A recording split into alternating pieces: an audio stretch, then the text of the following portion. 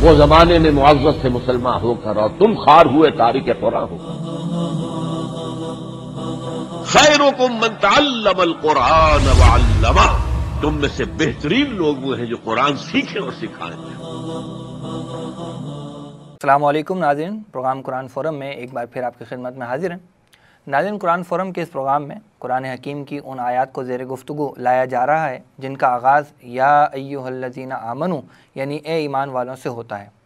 آج کے اس پروگرام میں ہم دین اسلام کے ایک اہم رکن یعنی نماز پر گفتگو کریں گے۔ اور اس حوالے سے جن آیات کا انتخاب کیا گیا ہے، ان میں صورت البقرہ کی آیت 153 صورت النساء کی آیت 43 اور سورہ ابراہیم کی آیت 31 شامل ہیں۔ ناظرین صورت البقرہ کی آیت نمبر 153 میں اللہ سبحانہ و تعالی ارشاد فرماتے ہیں، اعوذ باللہ من الشیطان الرجیم، بسم اللہ الرحمن الرحیم، یا ایوہ الذین آمنوا استعینوا بالصبر والصلاح ان اللہ مع الصابرین۔ صدق اللہ العظیم۔ آیت کا ترجمہ کچھ یوں ہے کہ اے ایمان والو، صبر اور نماز سے مدد چاہو، جان لو کہ اللہ صبر کرنے والوں کے ساتھ ہے۔ اس موضوع پر گفتگو کا آغاز کرتے ہیں اور گفتگو کے لیے ہمارے ساتھ موجود ہیں ہمارے معزز مہمان معروف دینی اسکالر و امیر تنظیم اسلامی محترم جناب شجاع الدین شیخ صاحب۔ السلام علیکم ورحمۃ اللہ وبرکاتہ۔ وعلیکم السلام ورحمۃ اللہ وبرکاتہ۔ شیخ صاحب مزاج خیر الحمد للہ آپ ٹھیک ہے ماشاء اللہ کا کرم و احسان ہے۔ شیخ صاحب نماز کے حوالے سے جب ہم بات کرتے ہیں تو لا محالہ ذکر آتا ہے ارکان اسلام کا۔ تو میں چاہوں گا کہ ہمارے ناظرین اس بات سے آگاہی دیں کہ یہ ارکان اسلام سے مراد کیا ہے اور یہ کون کون سے ہیں؟ بسم اللہ الرحمن الرحیم۔ اللہم صلی علی محمد وعلی علی محمد وبارک وسلم۔ یقیناً بہت ہی بنیادی سوال ہے اور یاد دہانی بھی اس بات کی ضروری ہے۔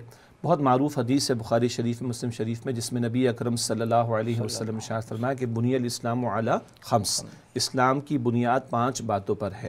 یاد رہے کہ یہ اسلام کی بنیادوں کا ذکر ہے، پورا اسلام نہیں۔ لیکن بنیاد اہم ہوتی ہے اس سے کہ جب تک ہم فاؤنڈیشن نہ ڈالیں، بنیاد نہ ڈالیں، ستون نہ کھڑے کریں، عمارت کھڑی نہیں ہو سکتی۔ تو پورے کے پورے اسلام کی جو عمارت ہے، وہ کھڑی ہے پانچ ارکان پر، ستونوں پر، انگلش میں پلرز آف اسلام انہیں کہا جائے گا۔ اللہ کے رسول علیہ السلام نے فرمایا کہ اس بات کی شہادت دینا کہ اللہ کے سوا کوئی معبود نہیں اور محمد صلی اللہ علیہ وآلہ وسلم اس کے رسول ہیں اور نماز قائم کرنا اور زکوٰۃ ادا کرنا ماہ رمضان کے روزے رکھنا اور اللہ کے گھر کا حج کرنا۔ پھر تفصیل ہے کہ زکوٰۃ صاحب نصاب پر ہوگی حج زندگی میں ایک مرتبہ صاحب استطاعت پر جو ہے وہ لازم کیا گیا۔ تو گویا کہ کلمے کا اقرار کر کے تو بندہ اسلام میں داخل ہوتا ہے یہ تو بالکل فاؤنڈیشن والا پہلو ہو گیا۔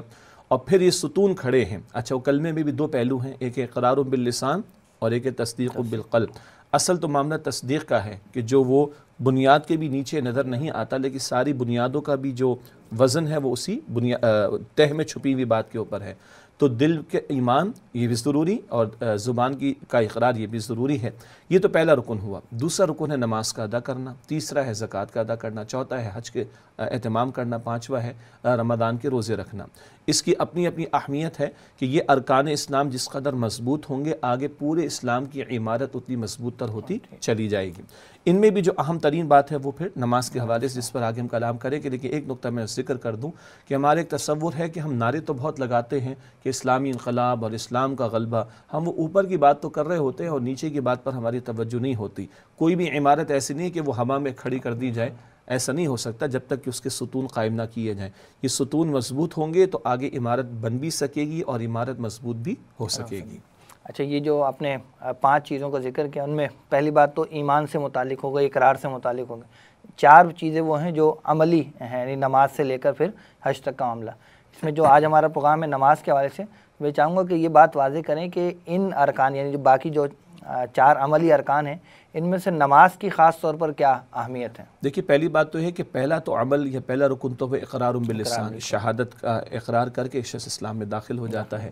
البتہ اس کا فوری اظہار نماز سے ہوتا ہے۔ ماہ رمضان کے روزے سال میں ایک مرتبہ ایک مہینے کے لیے زکوٰۃ کا ادا کیا جانا وہ سال میں ایک مرتبہ صاحب نصاب کے لیے۔ حج کا ادا کیا جانا صاحب استطاعت کے لیے زندگی میں ایک مرتبہ۔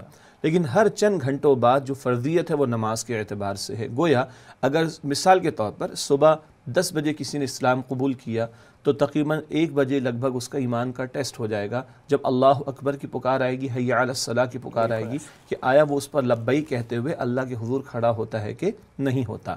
یہی وجہ ہے کہ اللہ کے پیغمبر علیہ السلاۃ السلام نے نماز کی اس اہمیت کے پہلو کو مختلف پیرایوں میں بیان فرمایا۔ کبھی آپ فرماتے ہیں، الصلاۃ و عماد الدین، نماز دین کا ستون ہے۔ جس نے اس کو قائم کیا، اس نے پورے دین کو قائم رکھا اور جس نے ستون کو ہی ہٹا دیا، اس نے پوری دین کی عمارت کو گویا کہ ہٹا دیا۔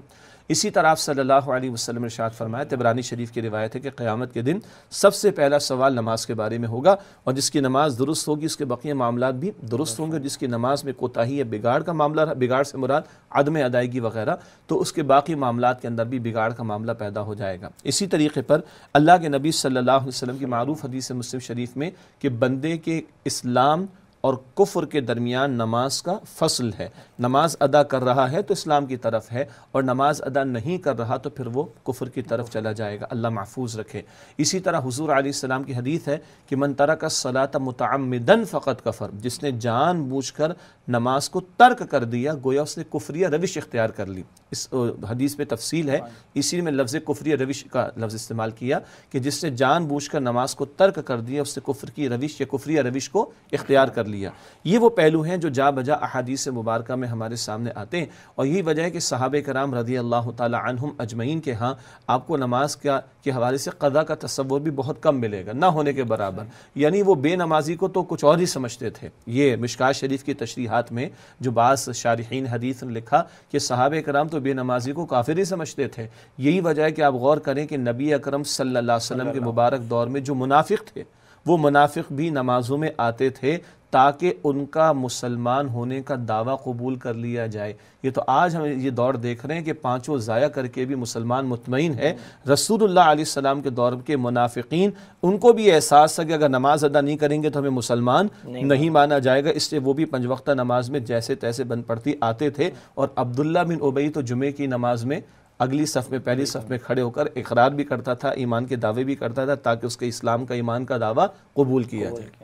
اشرف صاحب، ہمارے پروگرام کا نام ہے قرآن فورم، تو میں یہ چاہوں گا کہ قرآن مجید کی نسبت سے نماز کا تذکرہ کس کس انداز میں اور اندازاً کتنی مرتبہ یہ ذکر ہمیں ملتا ہے؟ دیکھیے، ایک محتاط اندازے کے مطابق، کیونکہ جب بھی ہم قرآن کا ذکر، تلاوت کا معمول کرتے ہیں سلاد کا رس جا بجا ہمیں ملتا ہے۔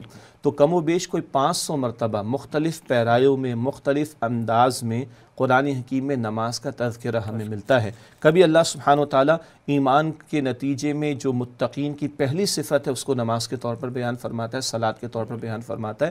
یقیناً ناظرین کے ذہن میں صورت البقرہ کے شروع کے الفاظ آگے ہوں گے کہ الدین یؤمنون بالغیب یقیمون الصلاۃ متقین کے لیے قرآن ہدایت ہے، وہ کون ہے جو غیب پر ایمان رکھتے اور نماز قائم کرتے ہیں۔ گویا کہ ایمان کا لازمی نتیجہ اور ایمان کا جو فوری اظہار سامنے آتا ہے وہ نماز کی صورت میں آتا ہے۔ تو کبھی قرآن حکیم ایمان کے پہلے پہلے تقاضے یا پہلے پہلے نتیجے کے طور پر وصف کے طور پر ایمان والوں کے نماز کو ذکر کرتا ہے۔ کبھی قرآن حکیم ایمان والوں کی یہ شان بیان فرماتا ہے کہ وہ اپنی نمازوں میں خوشو اور خضو اختیار کرتے ہیں۔ وہ ایمان والے صرف نماز ادا نہیں کرتے صورت المؤمنون کے شروع میں ہے کہ فی صلاتہم خاشعون، وہ اپنی نمازوں میں خوشو اختیار کرتے ہیں۔ کبھی قرآن حکیم اس انداز سے بیان کرتا ہے سور مریم میں ذکر آتا ہے کہ جب قوموں کے اندر بگاڑ پیدا ہوتا ہے، امتوں میں بگاڑ آتا ہے، تو سب سے پہلے لوگ نماز کو ضائع کرنے والے بن جاتے ہیں۔ کبھی قرآن حکیم اس انداز سے ہمارے سامنے ذکر کرتا ہے کہ اللہ تعالیٰ کی، بلکہ جو آج آیت کریمہ زیر مطالعہ ہے، اس میں بھی ذکر آ رہا ہے کہ صبر اور نماز سے اللہ تعالیٰ کی مدد حاصل کی جائے۔ کبھی قرآن حکیم اس انداز سے ہمارے سامنے ذکر کرتا ہے کہ تم حالت سفر میں بھی ہو تب بھی نماز ادا کرنی ہے۔ دشمن کا خوف ہے تب بھی نماز ادا کرنی ہے۔ کیونکہ حالت سفر میں قصر کا حکم دے دیا گیا۔ لیکن جیسے بھی بن پڑے نماز ادا کرنے کی تعلیم عطا کی گئی۔ یہ ہم ایک بات کر چکے ہیں اور آج کی ایک آیت میں بھی ذکر آ جائے گا کہ اگر تمہارے پاس پانی کی کمی کا مسئلہ آ جائے یا کوئی بیماری کا معاملہ آ جائے اور تم وضو نہیں کر سکتے ہو تو تیمم کر لو لیکن نماز ادا کرنی بہرحال پڑے گی۔ یہ ذکر اس لیے ہوا کہ وضو کا اہتمام ضروری ہے نماز قائم کرنے کے اعتبار سے۔ اسی طرح پیغمبر اپنی نماز، اپنی امت، اپنی اولاد تک کو نماز کی تلقین کیا کرتے تھے۔ اسماعیل علیہ السلام کے بارے میں ذکر آتا ہے کہ وکان یامر اہل و کہ وہ اپنے گھر والوں کو نماز کا حکم دیا کرتے تھے۔ اور ابراہیم علیہ السلام تو دعا کرتے ہیں، رب جعلی مقیم الصلاتی ومن ذریتی۔ اے میرے رب، مجھے نماز قائم کرنے والا بنا دیجیے اور میری اولاد کو بھی نماز قائم کرنے والا بنا دیجیے۔ تو کہیں صفات کا تذکرہ کہیں اللہ کی مدد کے حصول کا معاملہ، کہیں ایمان والوں کی نمازوں کی کیفیات کا تذکرہ، کہیں ہر حال میں نماز کا اہتمام، کہیں حالت سفر ہو اس میں بھی نماز کا اہتمام۔ کبھی دشمن کا خوف ہو تو چلتے چلتے، اگر سواری پر ہو تو جیسے بند پڑے نماز ادا کر لیا جانا۔ کبھی انبیاء کا گھر والوں کو تعلیم دینا، کبھی انبیاء کا اپنے گھر والوں کے لیے نمازی بنا دیا جانا۔ اس پیرائے میں قرآن ذکر کرتا ہے۔ اور ایک اور پہلو بھی آتا ہے، وہ ہم بعد میں بھی انشاءاللہ کچھ ڈسکس کر سکیں گے کہ جو لوگ نماز ادا نہیں کرتے، ان کا کس کس طور پر قرآن حکیم ذکر کرتا ہے۔ صحیح۔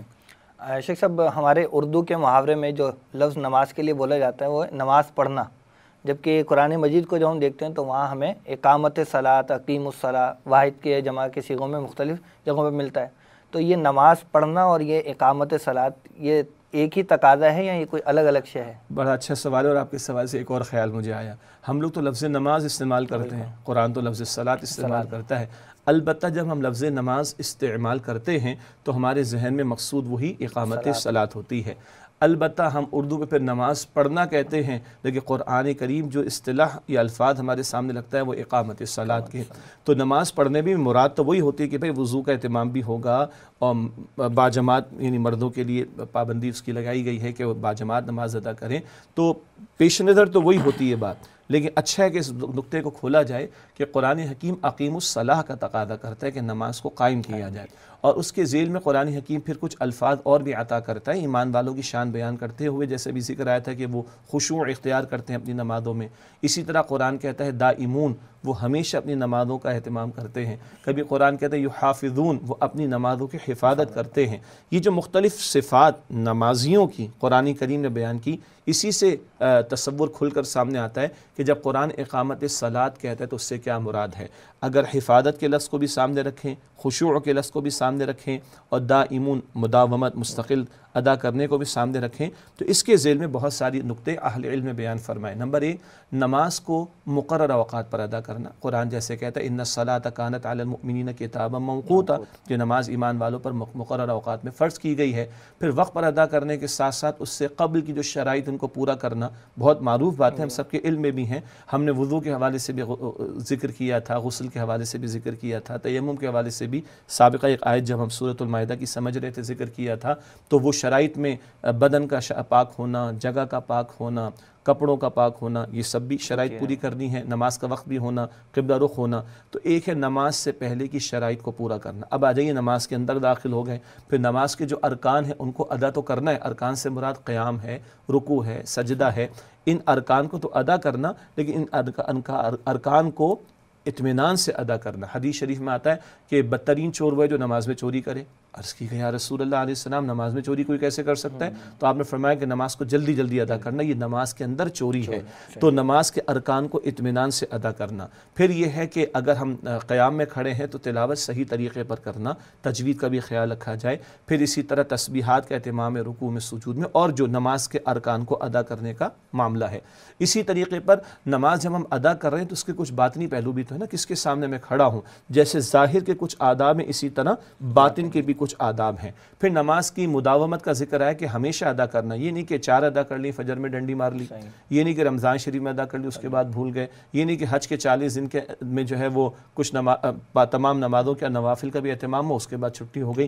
ہمیشہ ادا کرنا۔ حفاظت میں یہ بھی داخل ہے کہ نماز میں بندہ جو قول و قرار اللہ سے کر رہا ہے ایا کا نہ اس سے پہلے مالکی یوم الدین۔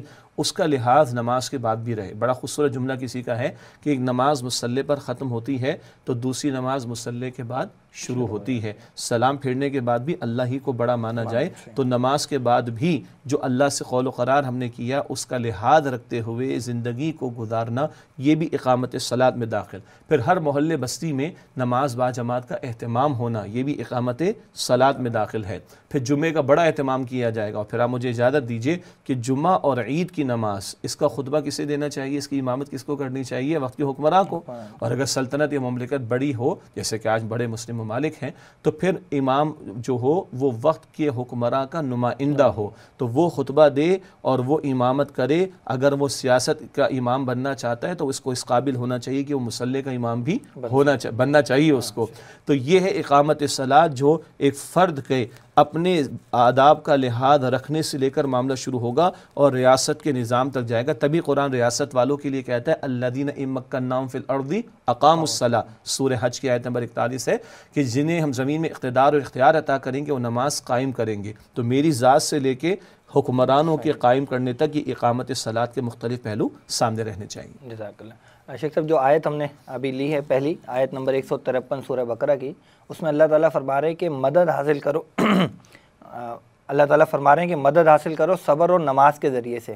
تو یہ نماز کے ذریعے سے ہم کیسے مدد حاصل کریں؟ اس پر تھوڑی سی روشنی ڈالیں۔ جی بہت قیمتی آیت ہے سورہ بقرہ کی آیت نمبر ایک سو تریپن یہیں سے آپ کہیے کہ صورت البقرہ میں اس سے قبل خاصا تفصیلی کلام بنی اسرائیل سابق امت کے حوالے سے آتا ہے اور اب نبی اکرم صلی اللہ علیہ وسلم کی امت سے براہ راست خطاب ہوتا ہے شروع صورت البقرہ کی آیت نمبر ایک سو تریپن میں۔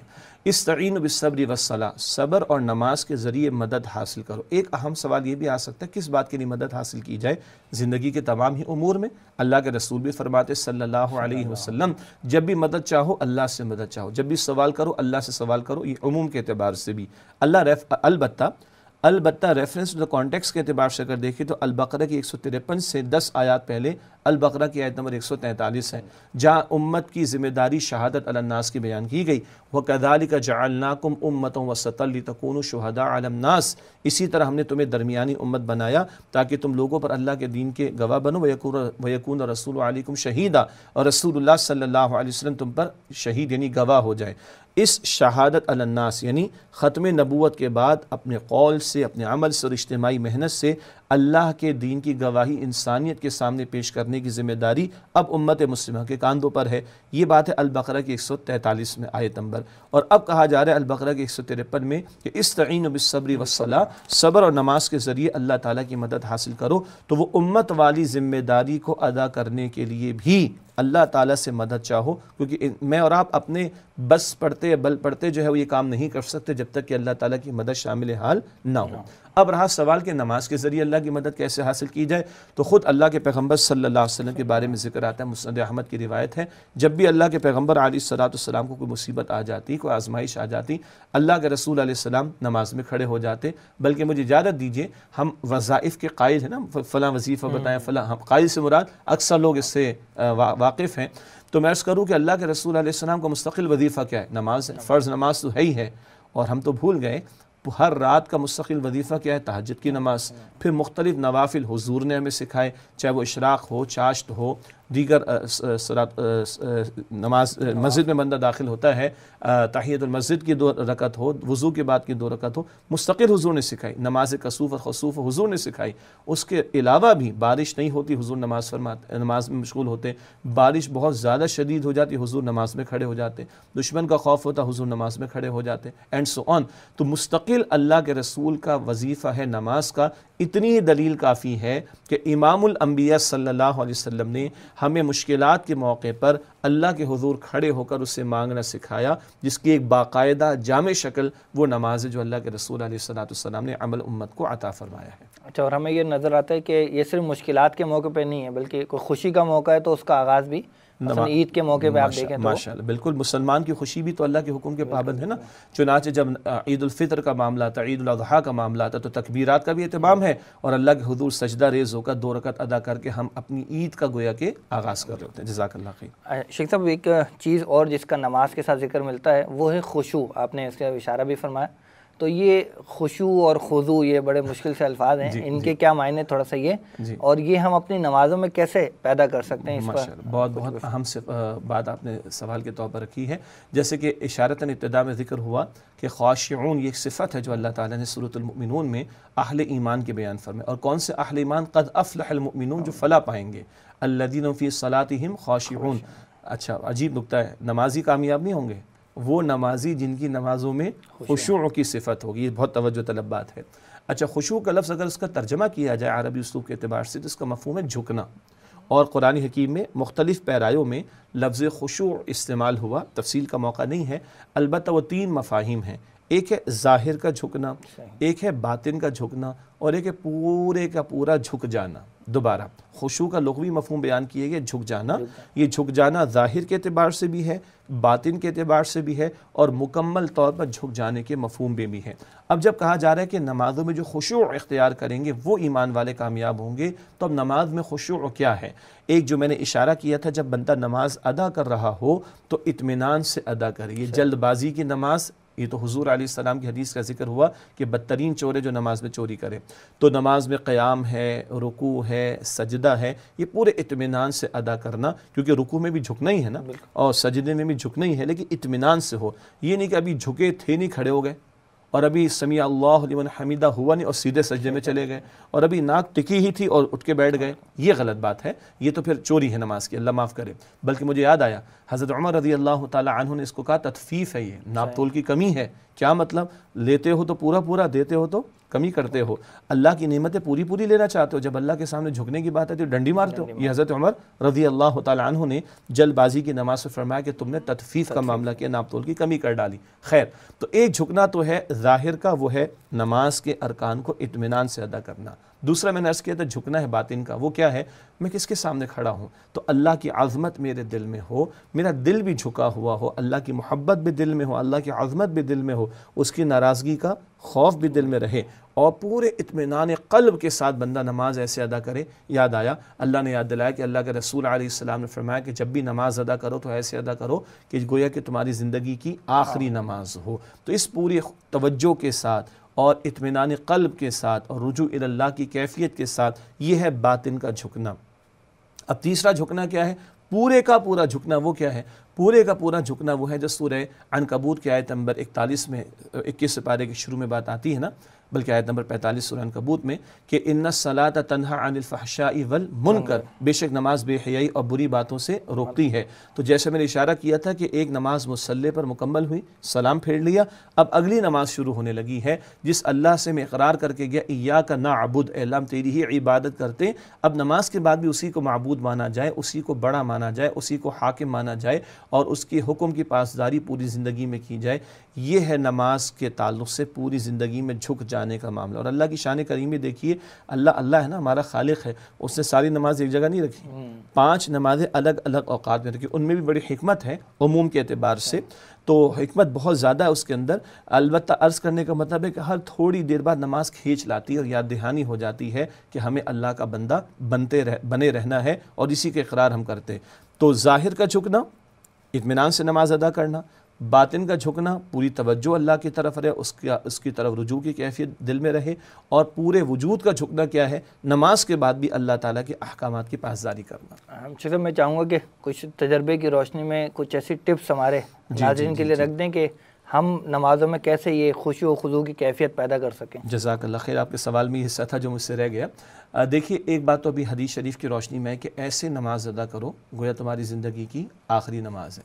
ایک شخص مسلمان ہوا نیا نیا مسلمان ہوا نو مسلم کہیں گے اس کو ہم تو کچھ لوگ دائیں بائیں ہم جیسی پیدائشی مسلمان ہوں گے وہ نماز کے لیے کھڑا ہو رہا ہے اور تکبیر تحریم میں اس کو پانچ منٹ لگ گئے۔ اللہ۔ تو رائٹ لیفل ہو گئے کیا وہ شروع کیوں نہیں کر رہے؟ تو اس نے کہا بھائی میں اپنے آپ کو حاضر کرنا چاہ رہا ہوں صحیح۔ کہ میں کس کے سامنے کھڑا ہوں۔ تو بہرحال یہ لوگ جو ہوتے ہیں نا وہ اپنے ایمان کی قیمت ادا کر کے آتے ہیں۔ ہمیں ماں کی گود میں مل کے شاید اتنی قدر نہیں۔ بہرحال قدر کرنی چاہیے اور اللہ کا شکر کرنا چاہیے۔ تو بھائی جب بھی کھڑے ہو پہلی بات ایسے ادا کرو گویا زندگی کی آخری نماز۔ دوسری بات خیال میں لائے کس کے سامنے کھڑے ہیں۔ دنیا کے اندر کسی آفیسر کے سامنے جاتا ہوں تو منٹھن کے بھی جاتا ہوں پوری توجہ کے ساتھ۔ باس ہو تو بڑا خاموشی سے اور بگ باس ہو تو بہت خاموشی سے۔ تو وہ تو پوری کائنات کا باس ہے پوری کائنات کا رب ہے۔ اس کی عظمت کو تھوڑا دل میں لانا۔ تیسری بات بہت سادہ بات ہے۔ وہ یہ ہے کہ نماز میں جو کچھ ہم تلاوت کر رہے ہیں یا اذکار یا دعائیں پڑھ رہے ہیں یا مانگ رہے ہیں ان کے الفاظ کو کنسنٹریٹ کریں۔ ابھی ترجمہ بعد میں آئے گا۔ مثلا الحمد اگلا لفظ کیا ہے؟ للہ اگلا لفظ کیا ہے؟ رب اگلا لفظ کیا ہے؟ عالمین۔ اس کو کنسنٹریٹ جتنا کرتے رہیں گے ہماری نماز میں توجہ بڑھے گی انشاءاللہ تعالی۔ مجھے یاد ہے کہ امام احمد بن حنبل رحمۃ اللہ علیہ کا ایک چھوٹا سا کتاب جو بچپن میں پڑھا تھا ترجمہ تھا اردو میں نماز کے متعلق۔ انہوں نے فرمایا کہ صدیوں گزر گئی امام احمد بن حنبل کو رحمۃ اللہ علیہ، وہ فرما رہے ہیں کہ بھائی تم کیسے سورہ فاتح کو ایک سانس میں پڑھ جاتے ہو؟ تمہیں الحمدللہ رب العالمین کے الفاظ ادا کر کے کیوں رونا نہیں آتا؟ کیوں اللہ کی نعمتیں یاد نہیں آتی؟ مالک یوم الدین، تم پڑھ کے گزر کیسے جاتے ہو؟ تمہیں کل کی حاضری کا خیال کیوں نہیں آتا؟ پیشی کا خیال کیوں نہیں آتا؟ اب یہ اگلی بات ہے۔ کہ میں جو ادا کر رہا ہوں اس کا مفہوم بھی میرے ذہن میں ہو۔ اور کم سے کم اردو بولنے والوں کے لیے تو صورت الفاتحہ کا ترجمہ بڑا آسان ہے۔ ابھی میں گزارش کروں ناظرین سے، ہم صورت الفاتحہ کے الفاظ پر غور کریں گے تو پہلی تین آیات کے تمام الفاظ ہم اردو میں استعمال کرتے ہیں۔ صرف دو تین چار الفاظ ایسے ہیں یعنی والین تھوڑا مشکل ہوگا ہمارے لیے، ایاکا تھوڑا مشکل ہوگا ہمارے لیے اینڈ سو آن اسی پچاسی فیصد الفاظ صورت الفاتحہ کے ہم سب کو اردو میں استعمال کرنا آتے ہیں۔ اگر اب اس پر بھی توجہ رہے گی تو ہماری توجہ اور بڑھ جائے گی۔ تو جو ادا کر رہا ہوں ان الفاظ پہ بھی توجہ اور اس کے مفہوم پر بھی توجہ ہو تو انشاءاللہ تعالی ہماری نمازوں میں توجہ بڑھتی چلی جائے گی۔ باقی اس بات کی پریشانی نہ رہے کہ وہ یہ خیالات آتے ہو تو آئیں گے۔ صحابہ کرام کو آتے تھے رضی اللہ تعالیٰ عنہ مجمعین تو حضور علیہ السلام نے فرمائی ایمان کی علامت ہے۔ یا رسول اللہ ایمان کی علامت کیسے؟ فرمایا کہ دیکھو چور کہاں چوری کرے گا؟ جہاں کچھ مال ملے گا۔ تو شیطان وہاں روڑے اٹکائے گا کہ جہاں کوئی ایمان کی دولت ہوگی۔ اس سے پریشان نہیں۔ ہونا۔ فائٹ تو ہماری مرتے دم تک رہے گی شیطان سے۔ لیکن جتنا ہم کانسنٹریٹ کریں گے توجہ کریں گے الفاظ پر مفہوم پر، تو انشاءاللہ ہماری نمازوں میں بہتری آئے گی۔ آخری بات، سلام پھیرنے کے بعد جو دعا اللہ کے نبی علیہ السلام پڑھتے تھے فرض نماز کے بعد، اللہم اعنی علی ذکری کا و شکری کا و حسنی عبادتیں عبادت صرف نماز ہی پوری زندگی کے امور ہیں۔ البتہ اللہ میری مدد فرما اپنے ذکر کے لیے اور اپنے شکر کے لیے اور اپنی عمدہ عبادت کے لیے۔ وہ عمدگی سے عبادت کے لیے بھی اللہ سے مانگا جائے، نماز میں خشوع بڑھتا چلا جائے، اس کے لیے بھی اللہ تعالیٰ سے مانگا جائے۔ انشاءاللہ اللہ تعالیٰ بہتری عطا فرمائے۔ ایک شخص جو ہے وہ وقت نکال کر اپنا آفس اپنی دکان بند کر کے مسجد آ بھی جاتا ہے لیکن پھر بھی وہ جلد بازی میں اپنی جی، نماز ادا کر کے اپنی ساری محنت کو ضائع کر رہا ہوتا ضائع کر رہا ہوتا ہے۔ بلکہ جو جلد بازی اب بات تو سخت ہے لیکن کیا کریں بیان کرنا پڑے گی کہ ایسی نمازیں تو پھر وہ پرانے کپڑے کی طرح واپس دے ماری جائیں گی۔ حدیث شریف میں آتا ہے۔ تو بھارت اطمینان سے ادا کرنا اور جلد بازی میں ادا کرنا دو تین منٹ سے زیادہ کا فرق نہیں ہوتا لیکن زمین آسمان کا فرق آ جاتا ہے توجہ کا بھی اور اجر و ثواب کا بھی۔ جزاک محترم ناظرین، پروگرام میں وقت ہوا ہے ایک بریک کا۔ بریک کے بعد جب حاضر ہوں گے تو انشاءاللہ سورۃ النساء کی آیت نمبر تینتالیس اور سورہ ابراہیم کی آیت نمبر اکتیس کے حوالے سے مزید گفتگو نماز کے حوالے سے کریں گے۔ فی الحال اجازت دیجیے السلام علیکم ورحمۃ اللہ وبرکاتہ۔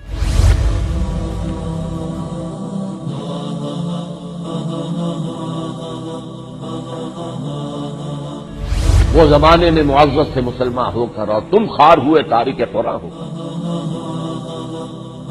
خیرکم من تعلم القرآن وعلمہ۔ تم میں سے بہترین لوگ وہ ہیں جو قرآن سیکھیں اور سکھائیں۔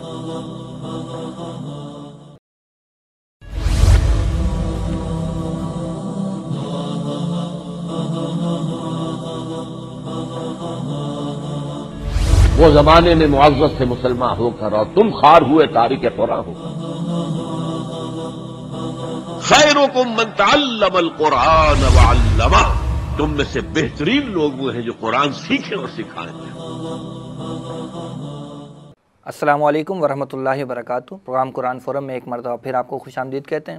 ناظرین، آج گفتگو ہو رہی ہے نماز کے حوالے سے، جو کہ اسلام کا ایک اولین عملی رکن ہے۔ اس کی اہمیت کیا ہے؟ اس کی تقاضا کیا ہے؟ کس کس طرح سے قرآن مجید میں اس کا ذکر ہوا؟ ان تمام امور پر ہم گفتگو کر چکے ہیں۔ سورہ بقرہ کی آیت نمبر ایک سو ترپن کی روشنی میں۔ مزید دو آیات جو آج کے پروگرام میں شامل ہیں، ان میں سورہ نساء کی آیت نمبر تینتالیس اور سورہ ابراہیم کی آیت نمبر اکتیس بھی شامل ہے اس وقت ہم گفتگو کرنے لگے ہیں سورہ نساء کی آیت نمبر تینتالیس کے حوالے سے۔ اللہ سبحانہ و تعالیٰ ارشاد فرماتے ہیں، اعوذ باللہ من الشیطان الرجیم، بسم اللہ الرحمن الرحیم۔ یا ایوہ الذین آمنوا لا تقربوا الصلاة وانتم سکارا حتی تعلموا ما تقولون ولا جنوبا الا عابری سبیل حتی تغتسلوا۔ وَإِن كُنتُم مَرْضَى أَوْ عَلَى سَفَرٍ أَوْ جَاءَ أَحَدٌ مِّنكُم مِّنَ الْغَائِطِ أَوْ لَامَسْتُمُ النِّسَاءَ فَلَمْ تَجِدُوا مَاءً فَتَيَمَّمُوا صَعِيدًا طَيِّبًا فَامْسَحُوا بِوُجُوهِكُمْ وَأَيْدِيكُمْ إِنَّ اللَّهَ كَانَ عَفُوًّا غَفُورًا۔ کا ترجمہ کچھ یوں ہے کہ اہل ایمان، نماز کے قریب نہ جاؤ، اس حال میں کہ تم نشے کی حالت میں ہو، یہاں تک کہ تمہیں معلوم ہو جو کچھ تم کہہ رہے ہو۔ اور اسی طرح جنابت کی حالت میں بھی نماز کے قریب نہ جاؤ جب تک غسل نہ کر لو۔ اور اگر تم بیمار ہو یا سفر میں ہو یا تم میں سے کوئی قضائے حاجت کے بعد آیا ہو یا تم نے عورتوں کے ساتھ مباشرت کی ہو، پھر تم پانی نہ پاؤ تو پاک مٹی کا قصد کرو اور اس سے اپنے چہروں اور ہاتھوں پر مسا کر لو۔ یقیناً اللہ تعالیٰ بہت معاف فرمانے والا بخشنے والا ہے۔ تو ناظرین، آئیے اس آیت کے بارے میں گفتگو کرتے ہیں۔ شیخ صاحب جو اللہ تعالیٰ نے اس سورہ نساء کی آیت تینتالیس کے شروع میں فرمایا کہ نماز کے قریب مت جاؤ جبکہ نشے کی حالت میں ہو، یہاں تک کہ تم سمجھو جو تم کہہ رہے ہو۔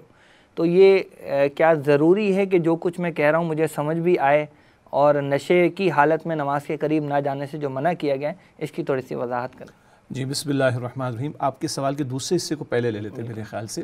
اور اس سے ناظرین کرام کو بھی ایک بات یاد آ جائے گی انشاءاللہ کہ اللہ تعالیٰ نے شریعت کے جو احکامات عطا فرمائے ان میں سے کچھ احکامات وہ ہیں جو تدریجن عطا کیے گئے۔ عرب کا وہ ماحول کہ جہاں شراب نوشی عام تھی جیسے ہمارے لوگ چین اسموکرز ہوتے ہیں وہاں چین ڈرنکرز تھے۔ اس ماحول میں شراب کی حرمت کے جو احکام عطا ہوئے وہ تدریجن آئے تھے۔ قرآن حکیم میں ایک مقام تو مکی صورت میں ہے جہاں پہ اشارتاً یہ بات بیان کی گئی ہے کہ یہ کوئی اچھا مشروب نہیں ہے۔ البتہ البتہ جو واضح مزید احکامات آئے ہیں وہ مدنی صورتوں میں آئے ہیں۔ صورت البقرہ کی ایک آیت میں فرما دیا گیا، آیت نمبر دو سو انیس میں کہ شراب و جوئے میں نفع کم ہے، نقصان زیادہ ہے۔ چوکنے رہو۔ اسی طرح اب یہ دوسرا حکم تھا اس تسلسل میں سورہ نساء کی آیت نمبر تینتالیس کے حالت نشہ میں نماز کے قریب مت جاؤ۔ اور لوگ چوکنے ہوگا کہ یہ تو بڑی بری ہے کہ اللہ کے ذکر سے روکنے والی۔ اور شراب اور جوئے کی حرمت کے بارے میں جو آخری حتمی حکم عطا ہوا وہ صورت المائدہ کی آیت نمبر نوے اور اکانوے میں آیا۔ فہل انتم منتہون بعض آتے ہو کہ نہیں۔ تو یہ حکم تدریجی نوعیت کا ہے تدریجی دور کا ہے۔ جب تدریجن شراب اور جوئے کی حرمت کے احکامات گریجولی آ رہے تھے اور آخری حکم جو ہے وہ سورہ معدہ کی آیت نمبر نوے اکانوے میں ہے جہاں حتمی طور پر شراب اور جوئے کو بالکل منع۔ کر دیا گیا۔ اس دوران میں یہ ایک حکم آیا تھا تو یہ عبوری دور کا حکم تھا۔ ٹھیک ہے جی ایک بات تو یہ ہو گئی۔ دوسری بات جو بیان کی جا رہی ہے وہ یہ ہے کہ یہاں تک کہ تم جان لو جو کچھ کہ تم کہہ رہے ہو۔ اس میں ایک نقطہ سمجھنے کا یہ ہے کہ ظاہری بات ہے جب آدمی شراب کے نشے کی حالت میں ہوگا تو وہ اس کو خیالی نہیں وہ کیا کہہ رہا ہے اور وہ بات کس سے کر رہا ہے۔ تو اس طرف اشارہ کیا جا رہا ہے کہ تم پورے اطمینان کے ساتھ اور پوری توجہ کے ساتھ اپنے آپ کو حاضر رکھ کے نماز ادا کرنے کا اہتمام کرو تاکہ تمہیں معلوم ہو تم کھڑے کہاں ہو کس کیفیت میں یعنی نماز کی کیفیت میں کھڑے ہو اور اپنی زبان سے تم کیا ادا کر رہے ہو۔ اس کو اس انداز سے بھی سمجھ لیجیے کہ اللہ کے پیغمبر صلی اللہ علیہ وسلم نے ایسا بھی ارشاد فرمایا اگر تم میں سے کسی پر نیند کا شدید غلبہ ہو جائے تو بھائی وہ نیند پوری کر لے پھر نماز ادا کرے۔ صرف ایک اس میں ایکسیپشن رہے گا فرض نماز تو ادا کرنی ایسا نہیں کہ سو گیا اور نماز قضا ہو جائے۔ ادروائز بات کی جا رہی ہے۔ تو اگر کسی پر نیند کا غلبہ ہو تو وہ نماز ادا نہ کرے وہ اپنی نیند کو پورا کر لے اور پھر نماز ادا کرے۔ کیوں؟ نیند کے غلبے میں بھی آپ آدمی کو پتہ نہیں ہوتا۔ کبھی کبھی وہ اردو بولنے والا انگریزی بولنا بھی شروع کر دیتا ہے کیونکہ ہمارے مستعمل بات ہے۔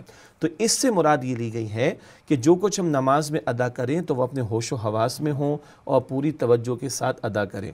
اس کا یہ مطلب نہیں ہے کہ اگر مجھے نماز ادا جو کر رہا ہوں، اس میں تلاوت کر رہا ہوں صورت الفاتحہ، کوئی صورت التقاصر کی تلاوت کر رہا ہے کوئی تسبیحات پڑھ رہا ہے سبحان ربی العظیم کوئی تحیات پڑھ رہا ہے اور اس کو اس کا مفہوم نہیں آتا تو وہ نماز نہیں پڑھ سکتا۔ یہ قطعان اس کا مطلب نہیں ہے۔ نماز تو بھی وہ بھی ادا کرے گا جس کو اردو کیا عربی کیا کوئی زبان بھی نہیں آتی اور اس کو بس سمجھا دیا جائے گا بھائی تو نماز تو شروع کر دے۔ کوئی غیر مسلم ہو سکتا ہے نا ابھی نیا نیا اسلام میں داخل ہو۔ ابھی ذرا ایک ٹیکنیکل بات ہے اس کو تو پوری نماز ایک وقت میں سکھانا بھی مشکل ہوگا۔ تو شروع شروع میں تو ہو سکتا ہے کوئی صاحب علم آدمی اس کو اپنے ساتھ کھڑا کر لے تم کھڑے ہو جاؤ تم جھکو تم جیسے ہم چھوٹے بچوں کے ساتھ کرتے ہیں تو سمجھنے کا نقطہ یہ ہے کہ اگر میں عربی میں جو کچھ تلاوت کر رہا ہوں تو اس کا اگر مجھے مفہوم نہیں آتا تب بھی مجھے نماز تو ادا کرنی ہے۔ بلکہ اللہ تعالیٰ نے ایک اور بات کی طرف رہنمائی کی یاد دہانی ہو گئی۔ اللہ کے رسول نے تو یہاں تک فرمایا صلی اللہ علیہ وسلم جو الف جو قرآن حکیم کی تلاوت کرے تو ایک ایک حرف کی تلاوت پر دس نیکیاں عطا ہوتی ہیں اور الف ایک حرف ہے لام ایک حرف ہے میم ایک حرف ہے اور یہ حروف مقطعات ہیں۔ ان کی معنی تو مجھے اور آپ کو معلوم نہیں۔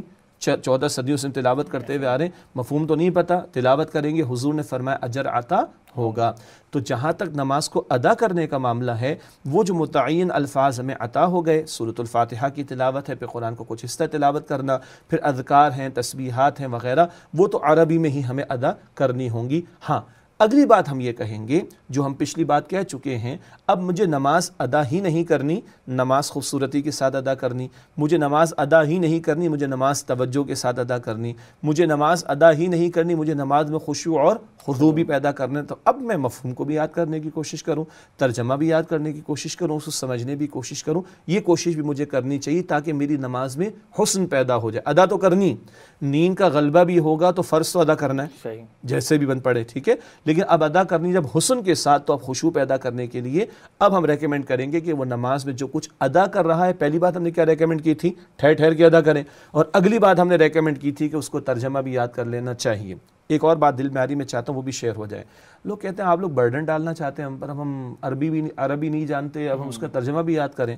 تو بھائی مجھے ایک بات بتائی جائے۔ ہم لوگ جو ماں کے بطن سے پیدا ہوئے اور ہمارے گھروں میں اردو زبان بولی جاتی ہے، انگریزی ہم نے پڑھی کہ نہیں پڑھی؟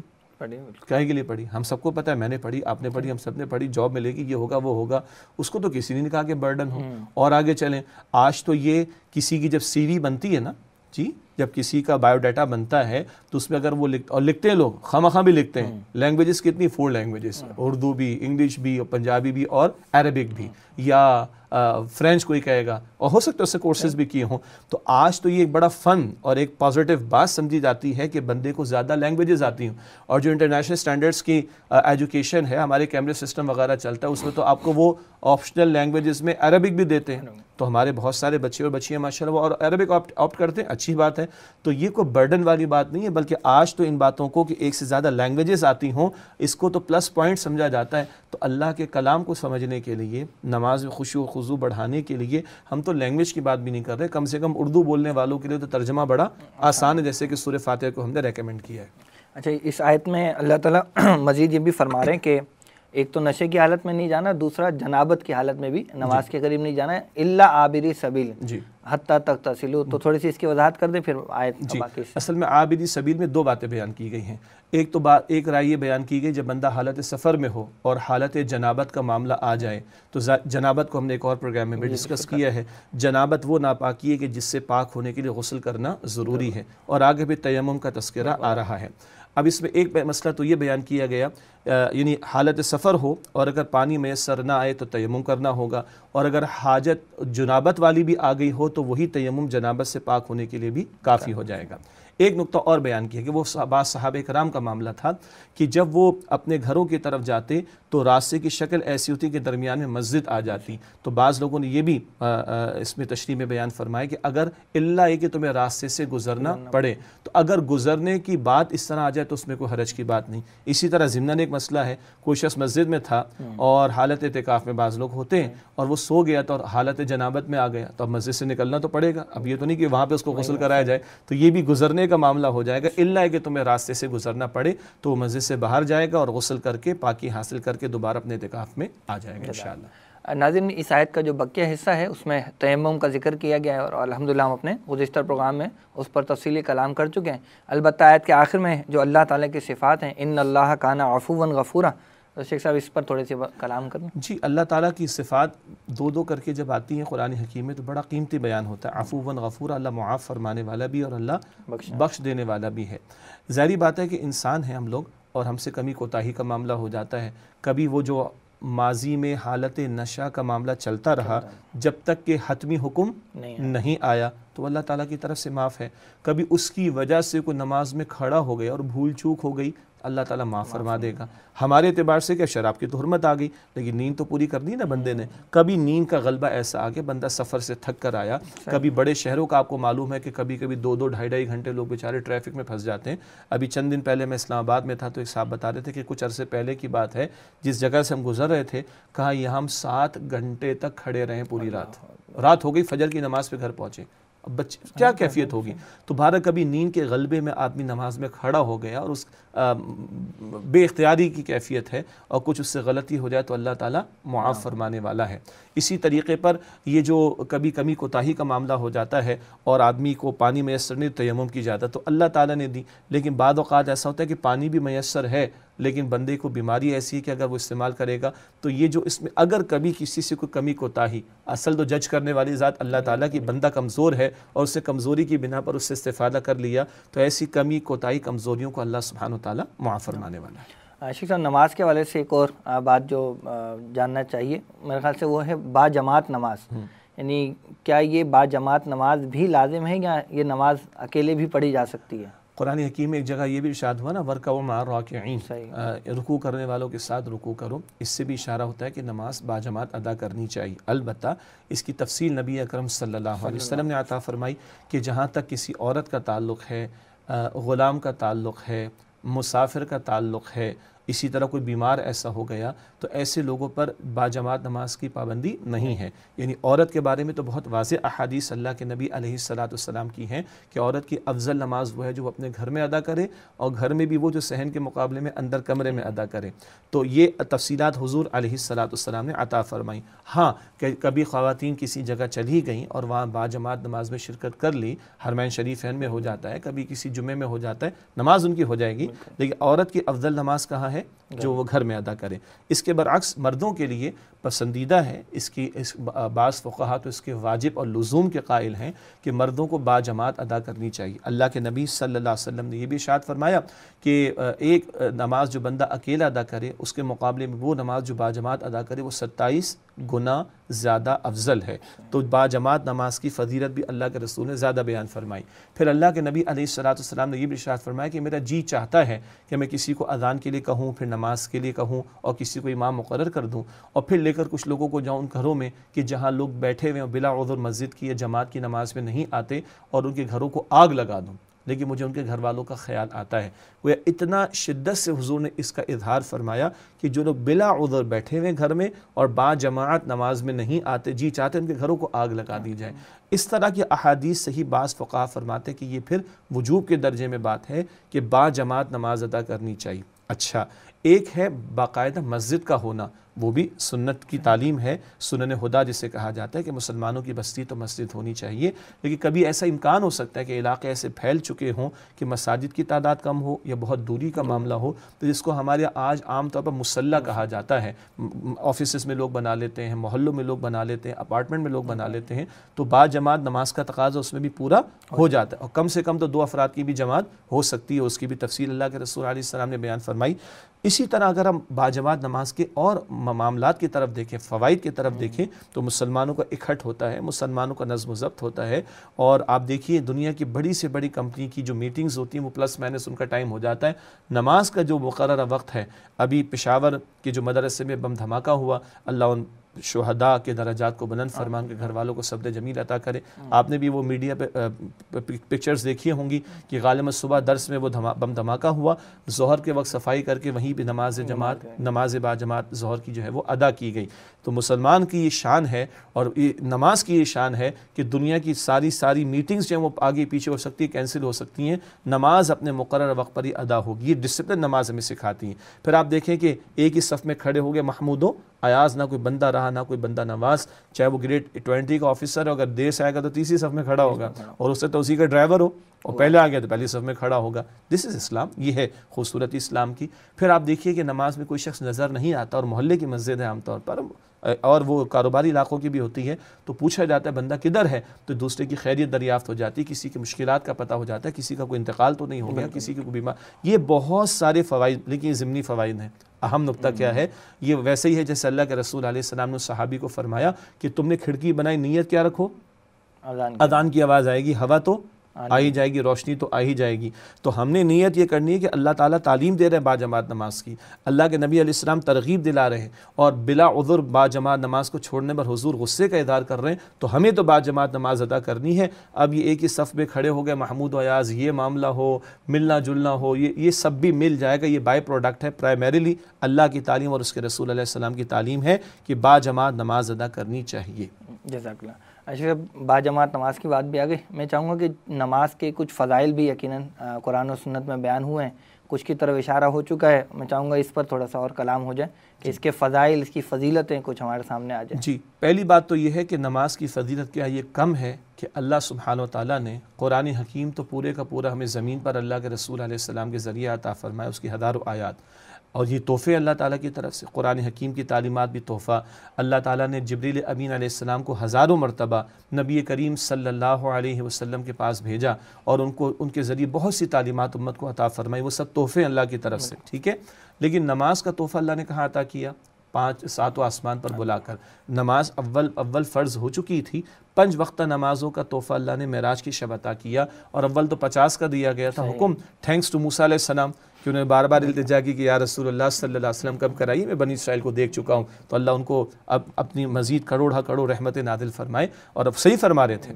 تو اللہ تعالیٰ نے پھر پانچ کر دی لیکن اللہ نے فرمایا کہ حکم نافذ ہو گیا۔ ادا ہوں گی پانچ اجر۔ ہوگا پچاس کا۔ تو یہ وہ تحفہ ہے جو رب نے معراج کی شب حضور کو بلا کر دیا، ہمیں قدر کرنی چاہیے۔ ایک معروف قول ہے، اس کو حدیث شریف کے طور پر پیش نہیں کرنا چاہیے، لیکن قول بڑا پیارا ہے کہ نماز مومن کی معراج ہے۔ یہ قول بڑا پیارا ہے، لیکن قول رسول کے طور پر پیش نہیں کرنا چاہیے۔ محدثین نے وعدے فرمایا، مراد کیا ہے کہ یہ تو اللہ تعالیٰ سے ملاقات کا ایک بڑا قیمتی موقع ہے۔ پھر اللہ سبحانہ و تعالیٰ نے جو ہم نے ابتدا میں بات کی کہ جو لوگ خشوع خضوع اختیار کر کے نماز ادا کریں گے، قد افلح المؤمنون، یہی ایمان والے جو کامیاب ہوں گے اور آگے چل کر اللہ تعالیٰ فرماتے ہیں کہ ان کے لیے جنت الفردوس کا وعدہ ہے۔ اسی طرح اللہ کے رسول علیہ السلام کی احادیث میں یہ ذکر بھی ملتا ہے مسلم شریف کی روایت میں کہ پانچ وقت کی نمازیں ادا کرنا۔ اور ایک جمعے سے لے کے دوسرے جمعے تک کا معاملہ، ایک رمضان سے اگلے رمضان تک کا معاملہ بنتا ہے۔ جب روزوں کا اہتمام کرتا ہے، جمعے کا اہتمام کرتا ہے، پنج وقتہ نمازوں کا اہتمام کرتا ہے، تو اللہ تعالیٰ بندے کے گناہوں کو معاف فرماتے تھے بشرطے کہ بندہ کبیرہ گناہوں سے اجتناب کرنے کی کوشش کرے۔ اسی طرح ایک حدیث شریف میں اللہ کے رسول علیہ السلاۃ والسلام نے شاد فرمایا کہ پانچ نمازیں جو اللہ نے فرض فرمائی ہیں تو جس نے ان کے لیے اچھی طرح وضو کا اہتمام کیا اور ان نمازوں کو وقت پر ادا کیا اور صحیح طریقے پر رکو سجود کو ادا کیا، خوش و خضو کے ساتھ، تو اللہ تعالیٰ کے ذمے میں یہ شخص آ جائے گا کہ اللہ تعالیٰ ایسے شخص کو معاف فرما دے گا۔ اور جو اس طرح کا معاملہ نہ کرے، نمازوں کا اہتمام نہ کرے، پھر اللہ کا ذمہ کوئی نہیں۔ اللہ جو چاہے سو کرے۔ فیغ و فرمن شاہ و و شاہ لیکن پھر وہ اللہ کے ذمے سے نکل جاتا ہے۔ اور اسی طریقے پر اللہ کے نبی صلی اللہ علیہ وسلم کی مشہور حدیث ہے یا دہانی ضروری ہے کہ دیکھو کسی کے گھر کے باہر ایک نہر ہو اور دن میں پانچ مرتبہ وہ غسل کرتا ہو نہاتا ہو تو بتاؤ اس کے جسم پر کوئی میل بچے گا؟ جی بالکل نہیں۔ اسی طرح جو پانچ وقت کی نمازوں کا اہتمام کرتا ہے اللہ تعالیٰ اس کو بھی گناہوں سے اسی طریقے پر پاک کر دیتا ہے۔ اسی طرح حضور نے فرمایا صلی اللہ علیہ وسلم ایک پتھر ایک درخت کے پتھر کو پتوں کو جھاڑ کر اور یہ حضور کا بڑا خوبصورت انداز ہے۔ آپ اس کو کمیونیکیشن اسکل کہیں اور ٹریننگ کے ٹپس کہیں جو چاہیں سو کہہ لیں۔ حضور نے سکھایا صلی اللہ علیہ وسلم پتے جھڑ رہے ہیں۔ تو حضور نے فرمایا کہ دیکھ رہو اسی طرح جب بندہ پنج وقتہ نمازوں کا اہتمام کرتا ہے تو اللہ سبحانہ و تعالیٰ اس کے گناہوں کو جھاڑ دیتا ہے۔ اللہ تعالیٰ ہمیں توفیق دے کہ ہم تمام کی تمام نمازوں کی حفاظت کریں اور اللہ مردوں کو ہم سب کو توفیق دے خاص طور پر کہ با جماعت نماز کا اہتمام کریں شیخ صاحب یہاں فضائل کی بات ہوئی ہے میں چاہوں گا کہ کچھ یقیناً وعید بھی سختی کی باتیں بھی ہوں گی ان لوگوں کے لیے جو نماز کی ادائیگی نہیں کرتے اس طرف بھی تھوڑی توجہ دلا دیے بڑا سخت معاملہ ہے جی اللہ تعالیٰ ہماری حفاظت فرمائے۔ ایک حدیث تو ہم نے پہلے بھی ذکر کی کہ حضور علیہ السلام فرمانے ہے کہ منترہ کا متعمدن فقط کفر، جس نے جان بوجھ کے نماز ترک کی وہ کفر کر چکا۔ اور صحابہ کرام تو بے نمازی کو کافر ہی سمجھتے تھے۔ اسی لیے اس دور کا منافق بھی ساری نمازیں ادا کرتا تھا کہ تو آج ہم دور دیکھ رہے ہیں کہ مطمئن بھی اپنے اسلام پر اور نمازیں بھی ہم ضائع کرتے ہیں۔ استغفر اللہ اسی طرح اشارتاً ذکر ہوا تھا، سورہ مریم کی آیت نمبر انسٹھ میں ذکر آتا ہے کہ جب قوموں میں، امتوں میں بگاڑ آتا، ادا الصلاح تو پہلی حرکت کیا ہوتی؟ ہے وہ نمازوں کو ضائع کرنے والے ہو جاتے۔ ہیں اللہ تعالیٰ حفاظت فرمائے۔ اسی طرح قرآن حکیم میں سروت المعاون تو کس مسلمان کو یاد نہیں؟ فویل للمسلین الذین هم عن صلاتهم ساہون۔ تباہی، بربادی، ہلاکت ان نمازیوں کے لیے جو اپنی نمازوں کی جانب سے غفلت میں ہیں۔ غفلت یہ بھی ہے کہ سرے سے ادا نہ کرنا۔ غفلت یہ بھی ہے کہ جمعے کی ادا کی باقی چھوڑ دی۔ غفلت یہ بھی ہے کہ دو ادا کی، تین چھوڑ دیں یا پانچ، چار ادا کی، ایک چھوڑ دیں یہ سب غفلت میں شمار ہوتا ہے۔ اللہ تعالیٰ محفوظ رکھے۔ اسی طریقے پر قرآن حکیم صورت القلم کے آخر میں ذکر آتا ہے کہ جو لوگ دنیا میں نہ جھکے کل قیامت کے دن چاہیں گے بھی کہ جھکیں، فلا یستطیعون، تو قرآن کہتا ہے جھک نہیں سکیں گے۔ اور حدیث میں تفصیل آتی ہے کہ ان کی کمر کو تختے کی طرح سخت کر دیا جائے گا۔ وہ جھکنا بھی چاہیں گے تو جھک نہیں سکیں گے۔ کیوں؟ دنیا میں صحیح سالم تھے اور نہیں جھکے، تو قیامت کے دن جھکنا چاہیں گے بھی تو جھک نہیں سکیں گے۔ اسی طرح صورت المدثر میں ایک مکالمہ قرآن نے نقل کیا، جنت والے جہنم والوں سے پوچھیں گے، ما سلککم فی سقر؟ کیا شے تمہیں جہنم میں لے گئی؟ ان جہنمیوں کا پہلا جواب ہوگا، لم نکو من المسلین ہم نماز ادا کرنے والے نہیں تھے۔ یہ پہلی وجہ ہے، آگے اور بھی وجوہات ہیں۔ تو بے نمازی کا ٹھکانہ تو جہنم میں ہے۔ اللہ تعالیٰ ہم سب کی حفاظت فرمائے۔ اسی طریقے پر اللہ کے رسول صلی اللہ علیہ وسلم نے یہ بھی ارشاد فرمایا کہ پھر بے نمازی کا حال تو ہوگا، یہ فرعون اور حامان اور امیہ بن خل جیسے ظالموں اور جابروں کے ساتھ کہ جو اللہ کے سرکش بندے تھے یعنی کہ نافرمانی کے روش پر تھے، تو بے نمازی بھی وہ ہے کہ جو سرکشی پر اتر آئے اور اللہ تعالیٰ کے سامنے جھکتا نہیں ہے۔ میں یہاں پر یہ بھی نقل کروں، شیخ عبد القادر جیلانی رحمۃ اللہ علیہ، جن کو مختلف القاب سے ہمارے موسوم کیا جاتا ہے شیخ عبد القادر جیلانی رحمۃ اللہ علیہ فرماتے ہیں کہ بے نمازی کو تو مسلمانوں کے قبرستان میں دفن بھی نہیں کرنا چاہیے۔ اس قدر سخت بات ہے۔ اور فقہا کی آرا بھی سوالے سے ہمارے سامنے آتی ہیں۔ ایک رائے تو تمام فقہا کی طے ہے کہ جو نماز کا انکار کر دے، وہ تو اسلام سے خارج ہو جائے گا۔ وہ تو اسلام سے گیا، معاذ اللہ۔ لیکن جو نماز کو ترک کر دے، نماز کو ادا نہیں کر رہا، تو بڑی سخت بات ہے۔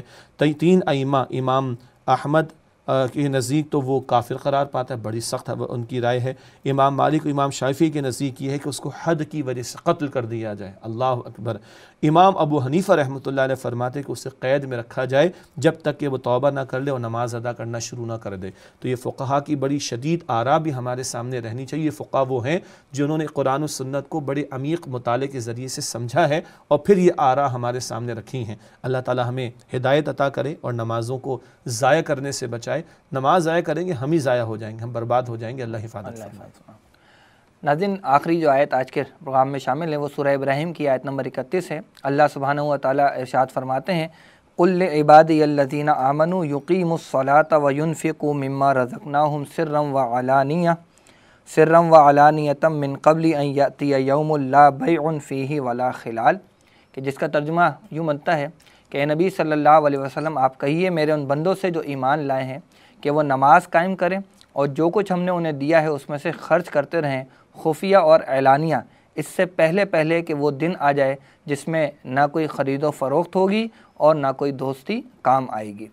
شخص صاحب، یہ جو آیت ہے، اس میں ویسے تو براہ راست یائی اللہ آمنو سے شروع نہیں ہو رہا، بلکہ کل عبادی اللہ زینہ آمنو سے شروع ہو رہا۔ ہے میں چاہوں گا کہ ان دونوں طرح کی آیات میں کیا فرق ہے، وہ ہمارے ناظرین کے لیے واضح ہو جائے۔ بنیادی بات تو ایک ہی کہ صاحب ایمان لوگوں سے اللہ سبحانہ تعالیٰ کی طرف سے خطاب ہے۔ البتہ ایک بات جو ہمارے استاد محترم ڈاکٹر اسرار صاحب رحمۃ اللہ علیہ نے بیان فرمائی، جو دل کو بھی لگتی ہے وہ یہ ہے کہ عام طور پر یا ایوہ الذین آمنو یہی الفاظ اکثر آئے ہیں ایمان والوں سے مخاطبت میں یہ الفاظ آپ کو ہمیں مکی مدنی صورتوں میں ہی نظر آتے ہیں۔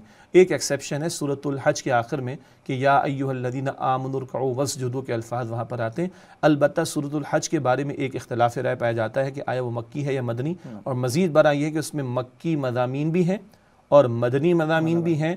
اور سفر ہجرت کے دوران کے مضامین بھی ہیں تو وہ بڑی ایک برزخی مزاج کی اپنی منفرد نوعیت کی صورت ہے۔ البتہ عموم کے اعتبار سے یا ایوہ الذین آمنو کے الفاظ ہمیں مدنی صورتوں میں نظر آتے ہیں۔ جبکہ یہ الفاظ جو قل عبادی الذین آمنو یہ سورہ ابراہیم اور سورہ ابراہیم جو ہے وہ مکی صورت ہے۔ تو ایک رائے یہ بیان کی ہمارے استاد محترم ڈاکٹر اسرار مصعب رحمۃ اللہ علیہ نے یقیناً اور اہل علم کے بھی ہوگی کہ نبی اکرم علیہ السلام کی امت امت بنی ہے مدنی دور میں آ کر۔ جب اللہ کے نبی علیہ السلام ہجرت فرما کر مدینہ تشریف لے آئے اور مدینہ شریف میں پھر صورت البقرہ کا نزول ہوا اور ایک آیت تھوڑی دیر پہلے ذکر کی کہ صورت البقرہ کی آیت نمبر 143 وَكَذَلِكَ جَعَلْنَاكُمْ أُمَّةً۔ اب تمہیں امت بنایا گیا۔ تو مکی دور میں یہ انداز نہیں ملتا مدنی دور میں ہمیں انداز ملتا ہے کہ امت قرار دی گئی ہے نبی اکرم علیہ السلام کی امت یعنی امت مسلمہ قرار دی گئی بنی اسرائیل معذول کر کے اب آپ صلی اللہ علیہ وسلم کی امت کو کھڑا کیا جا رہا ہے۔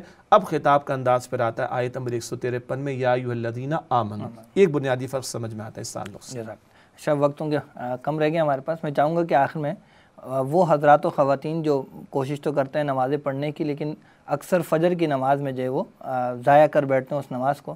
تو ایسے حضرات و خواتین کے لیے آپ کیا رہنمائی کرنا چاہیں گے؟ اصل میں یہ ہمارے ایک اجتماعی مسئلہ ہے۔ آپ عام طور پر ہم دیکھتے ہیں کہ مغرب عشاء کی نمازوں میں پانچ صفحے کہیں نظر آتی ہیں تو فجر میں وہ ایک صف ہو جاتی ہے۔ اس کا مطلب ہے کہ سیونٹی ایٹی پرسینٹ لوگ فجر کی نماز میں نہیں آ پا رہے ایک پہلو تو یہ ہے کہ پہلا سوال تو یہ ہے کہ بھائی مغرب عشاء کی نماز کس کے لیے ادا کر رہے ہیں؟ اللہ لیے تو فجر کا حکم میں کس نے دیا؟ اللہ نے دیا۔ ایک کلیئرٹی رہے۔ دوسری بات ہے کہ ویر دیر از اے ول دیر از اے وے والی بات ہے۔ اور بارہ الفجر کی نماز کا معاملہ تو یہ کہ بڑا ان قرآن الفجری کانا مشہودہ وہ بڑا مقبول وقت بھی ہوتا ہے کہ رات کے فرشتوں کا جانا اور دن کے فرشتوں کا آنا بڑا قبولیت کا وقت بھی ہوتا ہے۔ اور پھر صبح کے اوقات حضور کی دعا ہے اس امت کے لیے کہ اے اللہ اللہ کے رسول علیہ السلام دعا کرتے ہیں کہ اللہ میری امت کے صبح کے اوقات میں برکت عطا فرما دے۔ تو یہ سب کا حاصل کرنا بنتا ہے مسلمان کے لیے۔ بہت شکریہ شیخ صاحب کے قیمتی وقت کا۔ محترم ناظرین، اللہ تعالیٰ سے ہم دعا کرتے ہیں کہ اللہ تعالیٰ ہمیں تمام نمازوں کو پابندی سے ادا کرنے اور انہیں خوشی و خضو کے ساتھ ادا کرنے کی توفیق عطا فرمائے۔ آمین۔ آج کے پروگرام کے لیے بس اتنا ہی۔ انشاءاللہ آئندہ پروگرام میں ایک نئے موضوع کے ساتھ آپ کی خدمت میں حاضر ہوں گے۔ اجازت دیجیے السلام علیکم ورحمۃ اللہ وبرکاتہ۔